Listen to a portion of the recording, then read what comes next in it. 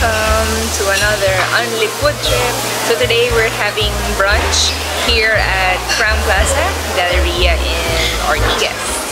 Yeah. So come join me as I'll show you what's offered in the brunch buffet. See ya!